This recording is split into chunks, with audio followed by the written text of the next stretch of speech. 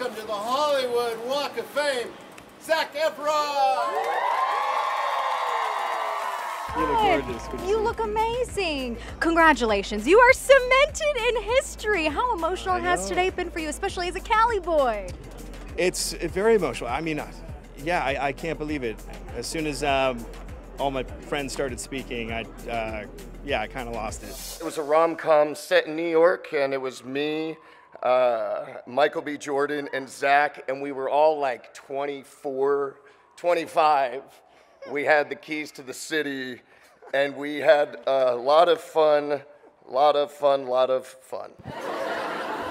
I mean, it, means a lot to me. It's a huge honor to be here. Uh, you know, I've, I've been in Hollywood since I was a teenager, and to have this come full circle and to be on, on, uh, yeah, the Walk of Fame with my heroes is a tremendous honor. I, I want to say thanks so much to Miles. Man, you're the man, dude. I remember hanging out with you early on, and I, I don't make fast friends that easy, but we just hit it from day one, bro. I, ha- I had the utmost respect for you, and we did rip it up in New York, man. We had a, a hell of a time, and just I will never forget that experience. You mentioned those speeches. What really went down in those New York City days with Miles and Michael?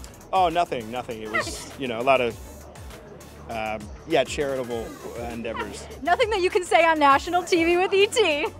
Uh, yeah, yeah, what? Good to see you. Thank you. Thanks so much.